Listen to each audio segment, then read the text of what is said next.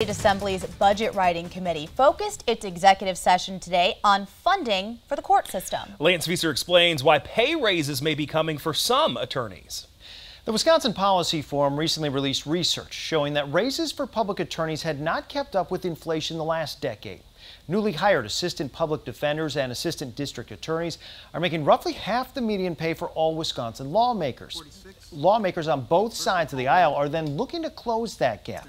Today, the Republican led Joint Finance Committee released their plan to boost the starting pay of those public attorneys by roughly $9 an hour, up to $36. The governor had proposed moving it up to $35 an hour. Both sides are also proposing boosting pay for private attorneys performing public defenders work to $100 an hour, up from 70.